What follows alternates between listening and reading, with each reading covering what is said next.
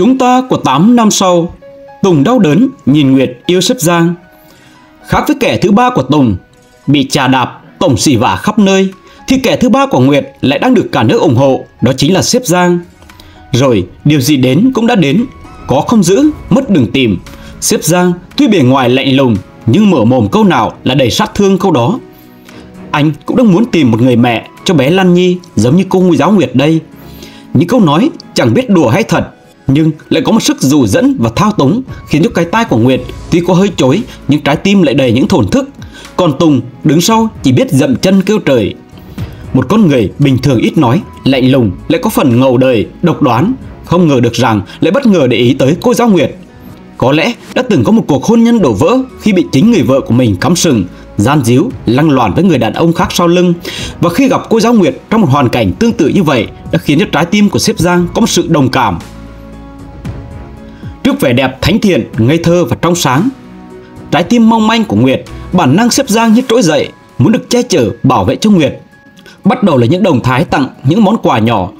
Rồi một sự thay đổi cũng khiến cho Nguyệt đầy bất ngờ. Từ một ông bố vô trách nhiệm không thèm quan tâm đến Lan Nhi thậm chí khi Nguyệt đích thân tìm đến nơi còn phải nghe những lời nói đầy thờ ơ khiến cho cô tức lên điên tiết nhưng rồi hôm nay lại thấy chính sếp Giang đích thân đưa đón Lan Nhi đi học mỗi ngày và rồi là những câu quan tâm đầy tình cảm.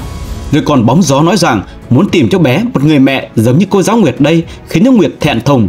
Còn Tùng đứng sau ruột nổ đôm đốp. Chưa hết, chính sếp Giang còn trực tiếp qua nhà để thăm nom cô giáo Nguyệt. Rồi lại là những chiêu bài cũ tán người già và trẻ con.